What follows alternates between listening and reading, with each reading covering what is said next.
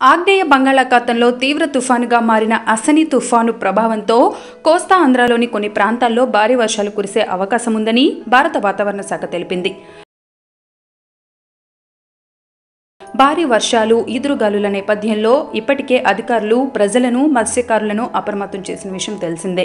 ఇక ఈ తీవ్ర తుఫాను విశాఖపట్నంకి ఐదు వందల కిలోమీటర్ల ఆగ్నేయంగా కేంద్రీకృతమై ఉంది తుఫాన్పై ఐఎండీ బులెటిన్ ప్రకారం మే పది వరకు వాయువ్య దిశగా కదిలి ఉత్తరాంధ్రప్రదేశ్ ఒడిశా తీరాలకు ఆనుకుని ఉన్న వాయువ్య బంగాళాఖాతానికి ఇది చేరుకునే అవకాశం ఉంది. ఆ తర్వాత ఈశాన్య దిశగా తిరిగి ఒడిశా తీరం నుంచి వాయువ్య బంగాళాఖాతం వైపు వెళ్ళే అవకాశం ఉంది.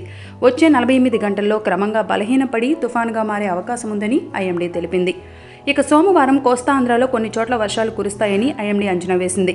కోస్తాంధ్రలో వివిధ ప్రదేశాల్లో భారీ నుంచి అతి భారీ వర్షాలు కొన్ని చోట్ల తేలికపాటి నుంచి మోస్తరు వర్షాలు కురిసే అవకాశం ఉంది. మంగళవారం సాయంత్రం నుంచి కోస్తా ఒడిశాలో వివిధ ప్రదేశాల్లో భారీ వర్షాలు కురిసే అవకాశం ఉంది. ఇక ఉత్తరాంధ్రప్రదేశ్లోని కోస్తా ప్రాంతాల్లో వివిధ ప్రదేశాలలో భారీ నుంచి అతి భారీ వర్షాలు కురిసే అవకాశం ఉంది.